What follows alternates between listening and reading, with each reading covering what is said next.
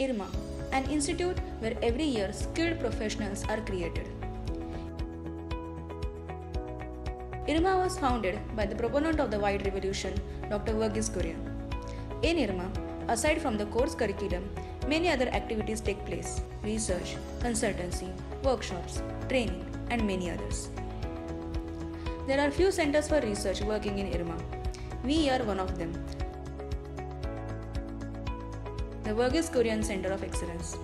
It was founded in 2015 with the support of the Gujarat Cooperative Milk Marketing Federation AMUL. We conduct many activities at VKCOE. For example, research, consultancy, policy advocacy, extension services, outreach activities, and many such others, which are beneficial for dairy, animal husbandry, and milk cooperatives.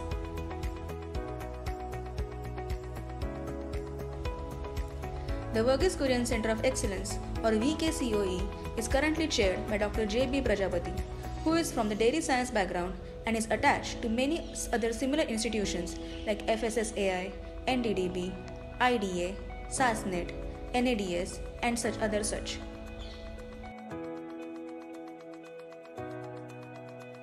Many research fellows have also been working at VKCOE. Currently, there are four researchers from different backgrounds working at the center.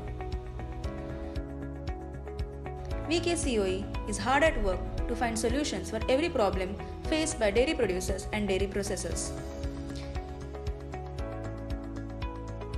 We also conduct many kind of national and international conferences, seminars and workshops.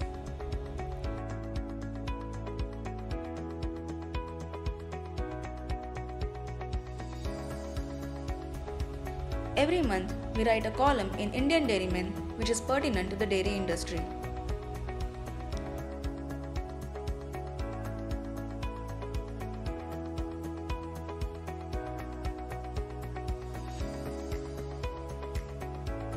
Every year, we also prepare our own information brochure.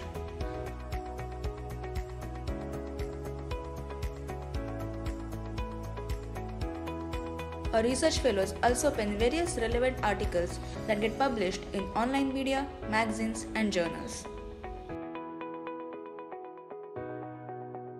We create and disseminate various policy briefs to the central government, state government, academic institutions, and dairy industrialists. VKCOE is also active on social media where we put out information and updates about the dairy industry and the cooperative societies.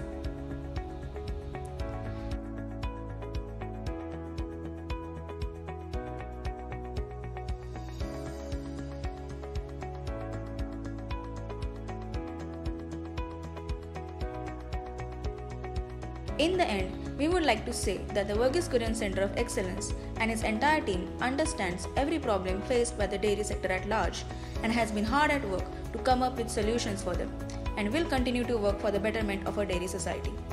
Thank you.